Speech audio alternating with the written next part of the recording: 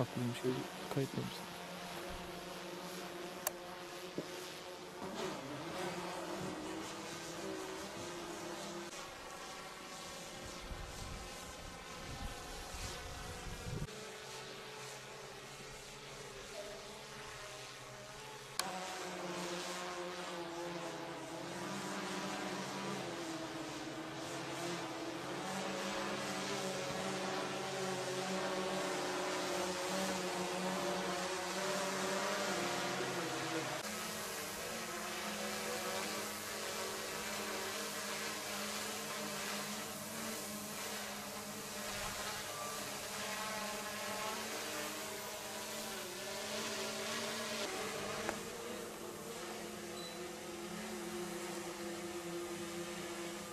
Ben bu köyün papazıyım. Tokaşlı köyü papazı Musa Papaz. Yaklaşık 20 yıldır buradayım.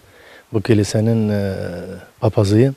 Kilisemiz yaklaşık 700 yıla tarihi bir eseri var yani ikonalardan.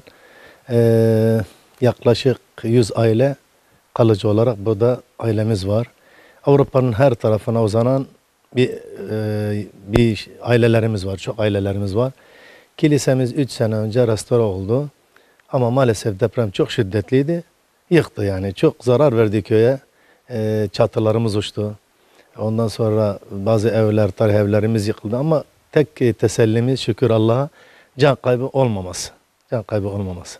Tarihi yaklaşık 700 yıllık bir kilise. Çok eski bir ta- tarih ve dağlardan, dağlardan dedelerimiz birbirini anlatırmış. Dedele, dededen dedeye gelen bir söz. Yaklaşık işte 700 yıllık bir kilise ama karşıki dağlardan katırlar üzerinde taşları taşınmış burada ve bir kili- bu kilise onarılmış yapılmış. Bazı değerli eşyalarımız daha duruyor e, içeride, şeyin altında.